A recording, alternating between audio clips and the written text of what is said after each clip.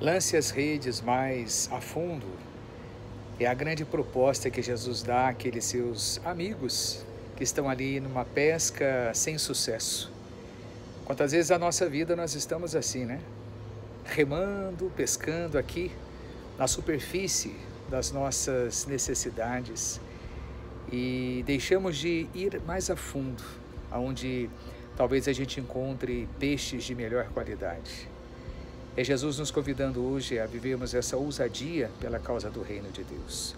Muitas vezes na vida humana é preciso a gente dar passos mais profundos, acreditar que temos tantos outros lugares para chegar e que Ele possa nos ajudar nessa nossa caminhada. Que Deus abençoe você.